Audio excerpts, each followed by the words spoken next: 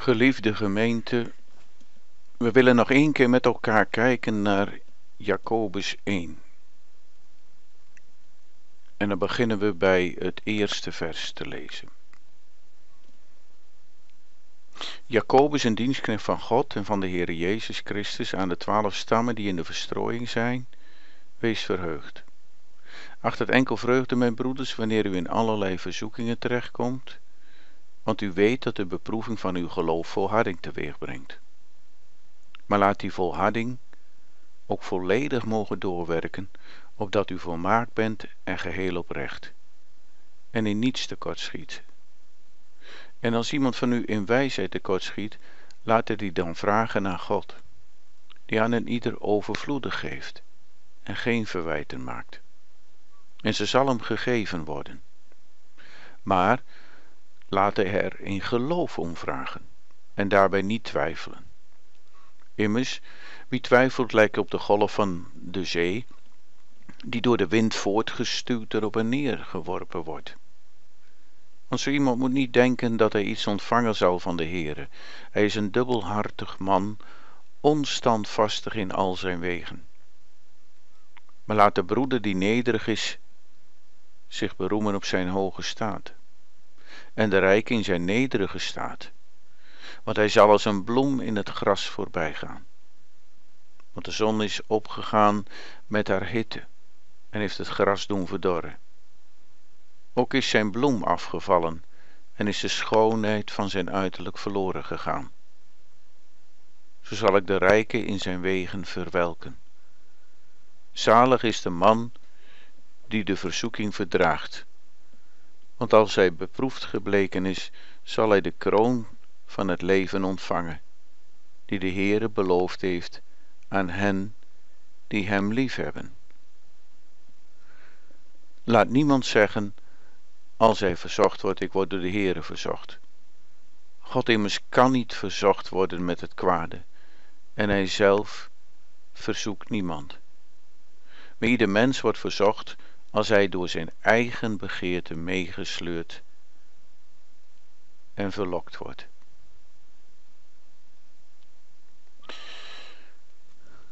Geliefden, als we deze brief zo met elkaar bekijken, we hebben er al heel wat dingen over gezegd en over gesproken. En je ziet toch in deze brief dat Jacobus een en al liefde uitstraalt. Zie in alles wat hij zegt, in alles wat hij doet. Komt dat telkens weer terug. En we hebben vooral ook gehoord dat twijfel eigenlijk funest is voor het geloof. Dat twijfel telkens weer gevoed wordt door je vlees, maar vooral ook door de duisternis, door de duivel. En dat je dan als christen ook veel minder vruchtbaar kunt zijn door al die twijfel. Dat wil niet zeggen dat er nooit eens twijfel in het hart is van een kind van God. Juist wel. Maar daarmee gaat hij ook naar de Here toe. En dat zien we ook dat Jacobus dat leert. Maar we moeten nooit dubbel psychos worden, zoals het woord zegt. Dubbelzielig, dubbelhartig. Want dan ga je de verkeerde weg op. Dan ben je onstandvastig in de weg die de Heer je wijst. Maar de broeder die nederig is. Daar staat het woord tapijnos, dat is een, een Grieks woord. De geringe betekent dat. Degene die zich onder de ander weet te plaatsen. Die zich minder geringer weet dan de ander.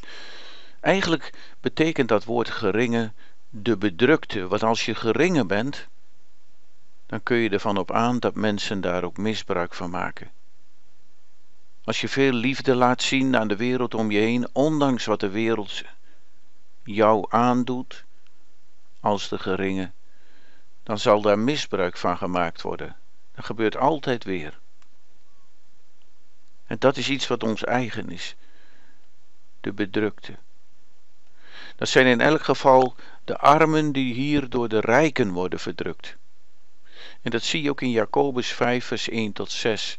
Ik pak dat er even voor u bij. Jacobus 5, Vers 1 tot 6. Nu dan rijken, huil en jammert over de ellende die u overkomt. Uw rijkdom is vergaan, uw kleren zijn door de motten aangevreten, uw zilveren goud is verroest. Een roest zal een getuigenis tegen u zijn en uw vlees als een vuur verteren. U hebt schatten verzameld in de laatste dagen. Zie het loon van de arbeiders die uw velden gemaaid hebben, dat door u achtergehouden is, schreeuw tot God. Dat doet me denken aan de geschiedenis van Egypte, waar God zegt dat zijn volk schreeuwt tot hem. Dat zegt hij tegen Mozes dan. En dan gaat Mozes op weg. En de jammerklachten van hen die geoogst hebben zijn doorgedrongen tot de oren van de Heere van de hemelse legermachten. U bent u aan wilde te buiten gegaan. Rijkdom is niet verboden, maar te buiten gaan in de rijkdom op de aarde en hebt uw eigen lusten gevolgd met al die rijkdom. U hebt uw hart gevoed als op de dag van de slacht. Dit zijn heftige woorden. Maar voor de nederige is het anders. Want die nederige, dan staat hier die broeder die nederig is, die kan zich beroemen op zijn hoge staat. Want die heeft namelijk een wandel in de hemel waar Christus is. En dan lees je in vers 10, en de rijke in zijn nederige staat. Want hij zal als een bloem in het gras voorbij gaan. De rijke in zijn geringheid is een woordspeling die Jacobus hier gebruikt natuurlijk. Het is een, alsof hij wilde zeggen, ja, was je maar nederig. Dus het is dus een soort cynisme, mogen we wel zeggen. Wat wil Jacobus ons eigenlijk vertellen met die versen 9 en 10? En vooral als we kijken naar dat woordje gering of nederig. Wat hij hier toch twee keer gebruikt ten aanzien van die broeder die echt nederig is. En ten aanzien van die valse nederigheid van die hoogmoedige broeder en rijke. Want het wil niet zeggen dat het geen broeder is, die rijke. Wat wil Jacobus ons zeggen? Jacobus noemt de armen en niet de rijken in dit gedeelte broeders. Ziet u dat verschil? Maar laat de broeder die nederig is. Hij zegt niet en laat de rijke broeder of laat de broeder die rijk is. De armen hebben deze hoogheid van God ontvangen. Ze beroemen zich ook, maar op een hoge staat, niet vanuit zichzelf, maar die staat hebben ze in Christus van God ontvangen. En dat is bijzonder, gemeente. Daarom moet je ook niet twijfelen. Daarom moet je ook telkens bidden om de kracht van de geest. Of je Gods kind mag zijn ook tegenover de buitenwereld. Of je dat ook mag laten zien en of je ook die geur daarvan mag hebben. Want je hebt die staat niet vanuit jezelf. Vanuit jezelf heb je helemaal dat soort staten niet. Maar die heb je van God ontvangen. De meest hoge staat die een mens in zijn leven kan ontvangen. En dat maakt kinderen van God zo bijzonder. Omdat ze steeds meer op Christus gaan lijken. Omdat ze Hem steeds meer lief hebben. En terwijl de rijken vernederd worden in hun toekomstig sterven, die als een bloem is, omdat ze zich schatten vergaderen op de aarde. Ze beroemen zich in hun eigen ondergang. Ik lees dan Matthäus 6, vers 19 met u. Kunt u dat ook zien. Matthäus 6, ik heb u al gezegd dat Jacobus de bergreden vaak citeert. Hier zie je dat ook weer in terug. Matthäus 6, vers 19.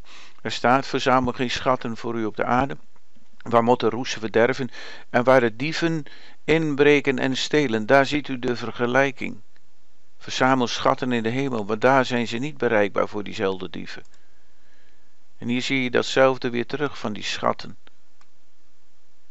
Als je hier je rijkdom op aarde zoekt, dan zul je als een bloem in het gras voorbij gaan.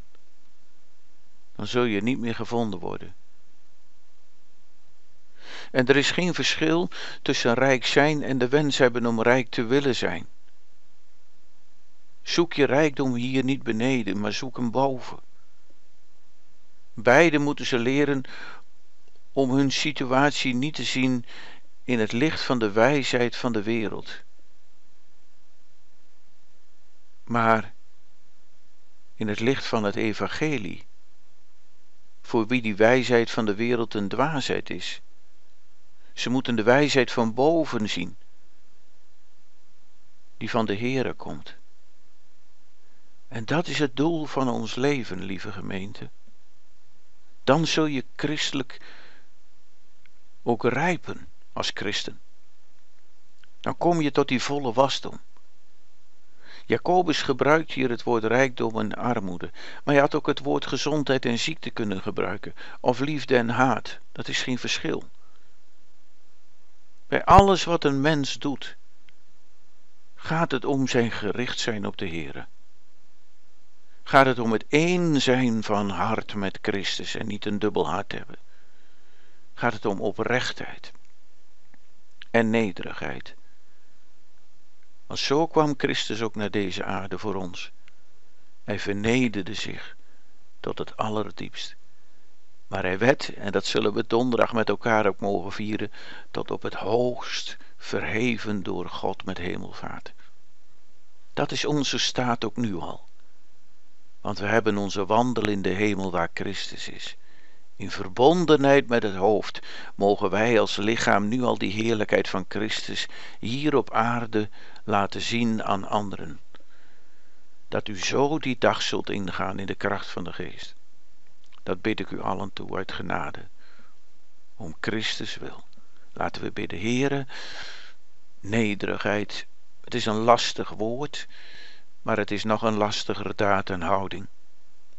Want wij zijn een mens die rechtop loopt. We geloven niet in de evolutie, waarbij de mens eerst krom liep en toen rechtop. Wij zijn altijd al mensen geweest na de zondeval die rechtop liepen.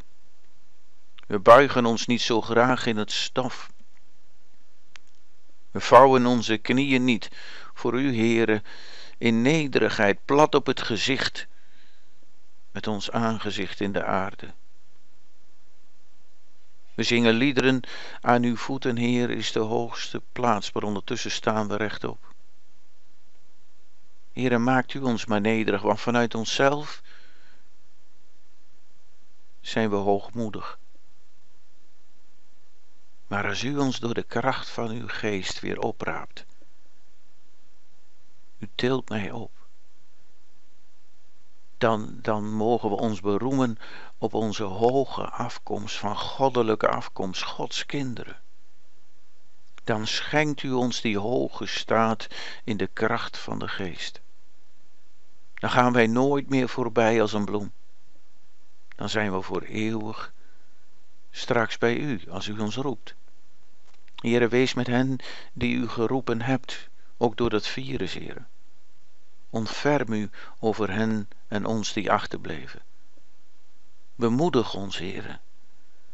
En ga zo met ons mee op weg naar hemelvaart. Laat het gevierd mogen worden, die overwinning van u. O grote koning over ons leven. Uit genade om Christus wil. Amen.